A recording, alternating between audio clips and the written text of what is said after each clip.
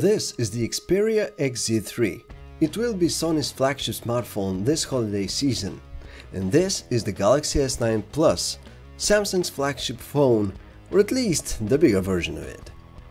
Sony asked $900 for its phone, a modest amount, and Samsung is asking roughly the same. The question is, where should you put your money at? Both handsets have roughly the same footprint, but the Xperia XZ3 is thicker. It's also slightly less ergonomic than its rival. A good example here is the fingerprint scanner on the back, which might be positioned a bit lower than ideal. One thing is certain, both phones look amazingly stylish. The Galaxy S9 Plus though manages to fit a slightly bigger 6.2-inch display in roughly the same body size as the XZ3, which has a 6-inch panel. We're not complaining of course, Sony's new screen is more than large enough, but the best part here is that it is an OLED panel for the first time in the history of Sony phones. And it's also an extremely high resolution screen. It's great. It's so good, we would say it is as good as the one on the Galaxy S9 Plus, which is quite an achievement. Excited by this new screen technology, Sony has tried to build some functionality around it. You can double tap somewhere along the sides of the phone and this would bring up the new SideSense panel, which is a 3x3 grid of applications.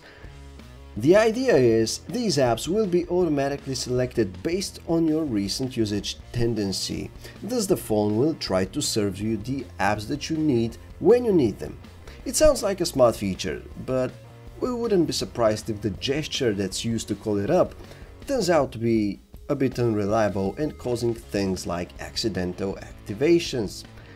Over in the Samsung camp, things are way more relaxed than they used to be in terms of fancy new software features.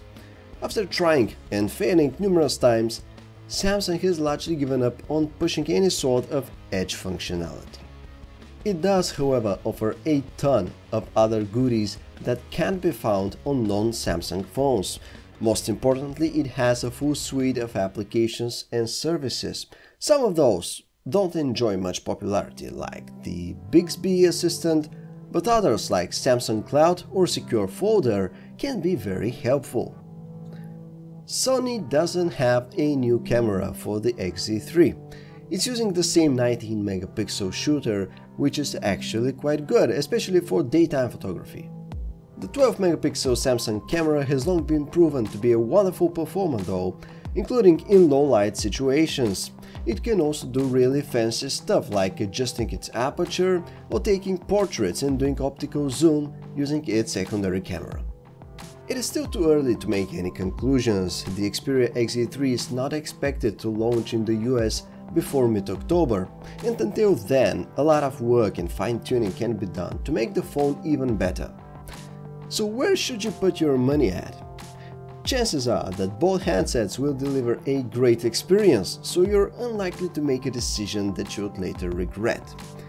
If you really want to play it safe though, conventional wisdom says you should go with the S9 Plus. For the more elegant design, fancy dual camera, and all the exclusive apps and services that Samsung provides. Thank you for watching this phone arena comparison. For more, check out our YouTube channel or even better, phonearena.com.